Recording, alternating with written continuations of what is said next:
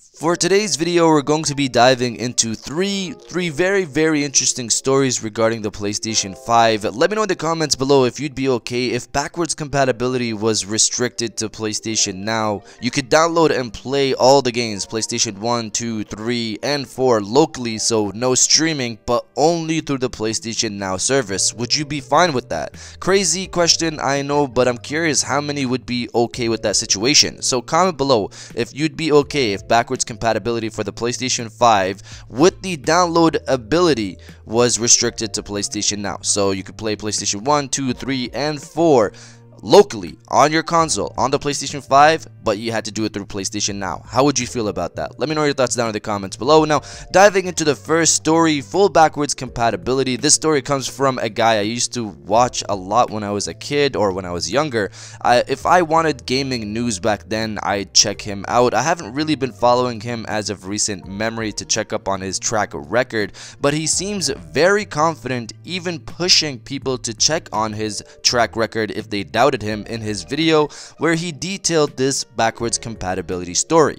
The person is Hip Hop Gamer and the essential gist of the video is that Sony has been working on backwards compatibility and having this idea of one box for all their games since 2012 and Gaikai which we know now as PlayStation Now was supposed to support that idea which it kind of does. He states with full confidence that the PlayStation 5 will have backwards compatibility with all past PlayStation consoles. Not only this, but that the PlayStation 5 will introduce a remastering engine as he names it, which will allow you to play with settings similar to PC emulators that beef up old games to have better resolutions, anti-aliasing, etc. He states that remastering of games will be old news because of this and remakes will be the new cash cows. He goes later on, in my opinion, to mess up the difference between remasters and remakes, calling Crash Bandicoot and MediEvil as remasters when their remakes 100%. He also seems to confirm disc-based backwards compatibility, which I'll say we've heard before, but the example he uses referencing three different GPU modes might be what Digital Foundry recently discussed, which pointed out that based on the recent leaked specs between the 12 teraflop and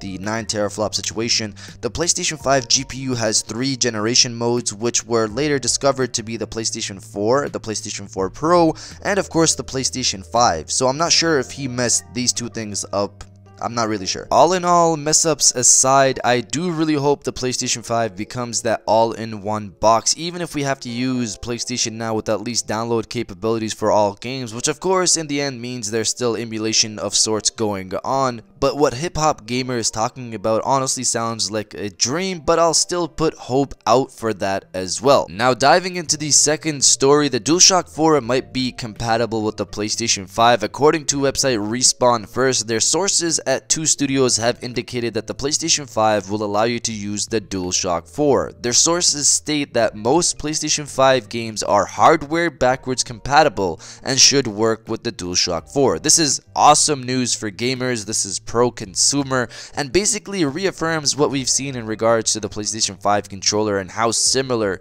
it'll be to the DualShock 4 because if the PlayStation 5 controller is that big of a leap, PlayStation 5 games might not work well with the DualShock 4 in that case, of course. And now the final story of this video, it seems we have another leak, another look regarding the PlayStation 5's dev kit, and more interestingly, the PlayStation 5 controller. At this point, I've got to believe Sony is orchestrating these quote-unquote leaks. I've got an itch that says they're doing this, but I'm not really sure. Obviously, I'm not there behind the scenes. This time, the leak comes from Reset Era, but originally comes from someone who I assume is a janitor because that's what it seems like from the picture at a video game studio and I say was because they're probably fired by now but the image shows us a better look of the dev kit and a better look of what's going on on that little LCD screen which as was guessed before to be networking information.